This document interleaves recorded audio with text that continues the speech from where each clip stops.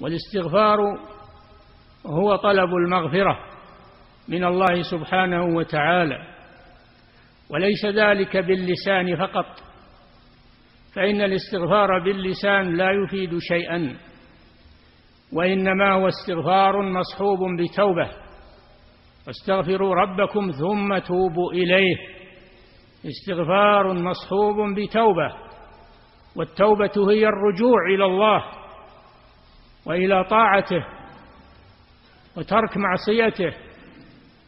هذه هي التوبة.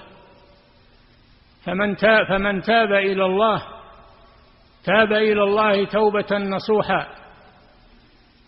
تاب إلى الله توبة نصوحا. وهي التوبة الخالصة الصادقة. يا أيها الذين آمنوا توبوا إلى الله توبة نصوحا. عسى ربكم أن يكفر عنكم سيئاتكم ويدخلكم جنات تجري من تحتها الأنهار. والاستغفار